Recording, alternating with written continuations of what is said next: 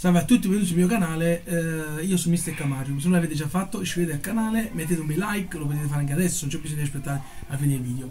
Oggi faccio vedere una modifica che ho portato alla stampante per migliorare il, il lavoro che svolgiamo eh, tutti i giorni.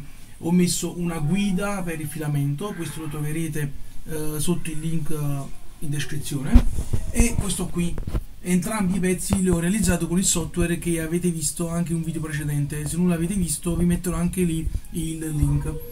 Uh, questo qui è quello che mi ha fatto perdere più tempo perché l'ho dovuto ristampare più volte prima di trovare uh, la, la, la, forma e le disposizioni ideali.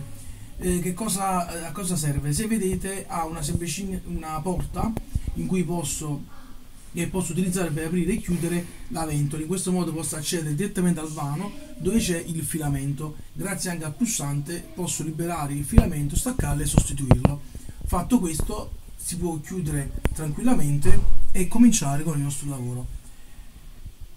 Vi mostro che questa aletta di raffreddamento utilizzata l'ho dovuta modificare. Su questo punto qui ho dovuto tagliare via tre, eh, tre parti in metallo perché davano problemi con la vite di supporto.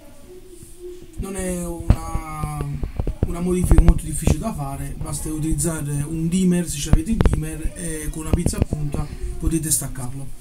Quindi a questo punto eh, spero che eh, questo progetto qui eh, sia di vostro gradimento, più avanti penso di eh, modificarlo ancora e proprio in questo caso ho evitato di utilizzare il classico file zip infatti in descrizione troverete il link a un sito dove mi sono registrato apposta per voi per rendere più pratico e comodo eh, l'aggiornamento di questi miei progetti. Eh, come ho detto prima non dimenticatevi di mettere un bel like. Arrivederci